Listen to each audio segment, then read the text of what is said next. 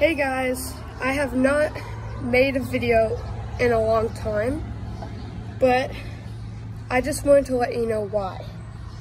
Because my dad has started a new coffee shop and I've been helping out there. I've even had to do school at the library, which is like right next to us. So let me just show you around. Okay, so this is the coffee shop.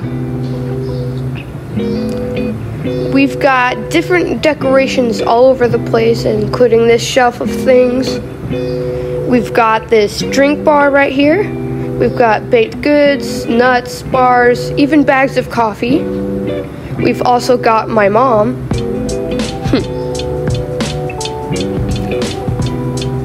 We've also got random boxes, and inside the store is actually the employees area with their own fridge, and they've got like cleaning supplies and other things. We've also got the cold brew and lemonade and milks and stuff. We've got the syrups and the ground coffee. This is our giant coffee machine. It's absolutely humongous. This is what I like to call our super sink because it has like a billion different handles and it's super cool. We've also got like chocolates and stuff, the blender, a nor- this is our normal sink where we wash our hands.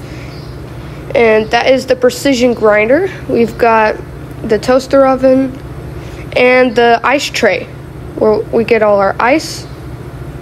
We've also got holding up the cups. We've got the drip coffee, which a lot of people get. We've also got this cool register and this really cool like thingy where you place in all the orders. You can see it right here. Also very cool.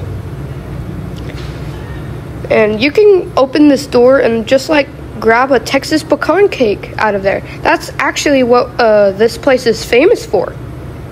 Make sure to come visit us in Bertram, Texas, uh, at the Bertram Library, because that's where we're at. We got cool little tables right here.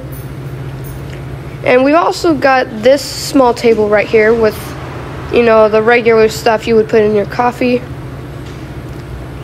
And we've also got some outdoor design too, like this cool coffee sticker thing. We've also got interior lights that you can see flashing right here. We've also got the BTX logo right here and this open sign, which is very bright in the morning. So yeah, that's BTX coffee. I can't promise frequency with videos, but I will upload as much as I can. And I'll see you guys again very soon.